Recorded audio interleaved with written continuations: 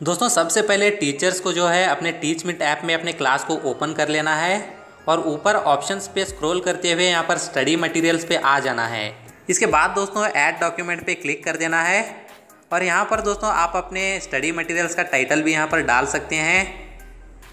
कुछ इस तरह से दोस्तों, आप यहाँ पर अपने मटेरियल्स के बारे में डिस्क्रिप्शन भी डाल सकते हैं। इसके बाद दोस्तों, आप यहाँ पर ऐड अटैचमेंट पे क्लिक करके अपनी जो भी स्टडी मटेरियल्स की फ़ाइल है, उसे यहाँ पर अपलोड कर सकते हैं और फाइनली सेव एंड क्रिएट पे क्लिक कर सकते हैं।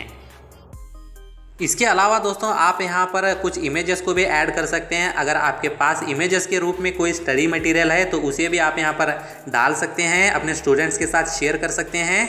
इसके अलावा दोस्तों, अगर आप कोई यूट्यूब वीडियोज़ को यहाँ पर शेयर करना चाहते हैं अपने स्टूडेंट्स के साथ तो आप वो भी कर सकते हैं। यहाँ पर हमें ऐड यूट्यूब वीडियो पर क्लिक कर देना है।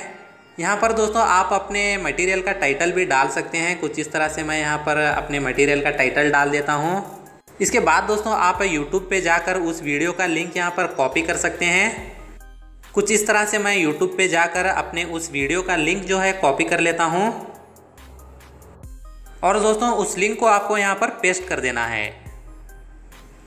इसके बाद दोस्तों, अगर आप कुछ डिस्क्रिप्शन डालना चाहते हैं उस वीडियो के बारे में तो आप यहाँ पर डाल सकते हैं। कुछ इस तरह से मैं एक डिस्क्रिप्शन डाल देता हूँ अपने स्टूडेंट्स के लिए। और फाइनली हमें सेव एंड क्रिएट पर क्लिक कर देना है।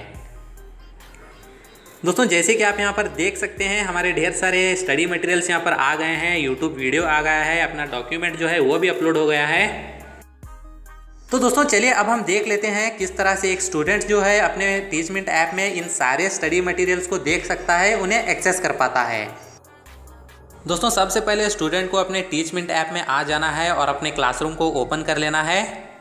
इसके बाद दोस्तों ऊपर के ऑप्शंस में यहाँ पर स्टडी मटेरियल पे आ जाना है। दोस्तों जैसे कि आप यहाँ पर देख सकते हैं, जो भी टीचर ने स्टडी मटेरियल यहाँ पर शेयर किया है, वो यहाँ पर स्टूडेंट को दिख रहा है। दोस्तों, हमें सिंपली यहाँ पर इसे क्लिक कर देना है और वो स्टडी मटेरियल जो है, वो डॉक्यूमेंट जो है, डाउनलोड हो जाएगा।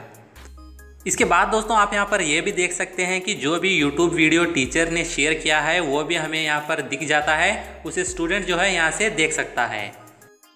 तो दोस्तों, कुछ इस तरह से स्टूडेंट्स जो है, अपने टीचर्स के स्टडी मटेरियल्स को यहाँ से देख सकते हैं, उन्हें एक्सेस कर सकते हैं।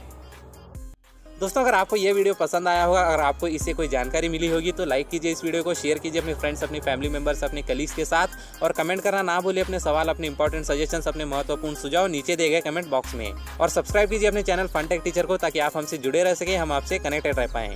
तब तक दोस्तों, मैं आपसे फिर से एक बार मिलता हूँ कुछ ऐसे ही एक नए वीडियो के साथ, एक ऐसे नए ट्यूटोरियल के साथ। टिल देन दोस्तों be learning start exploring and stop growing जय हिंद।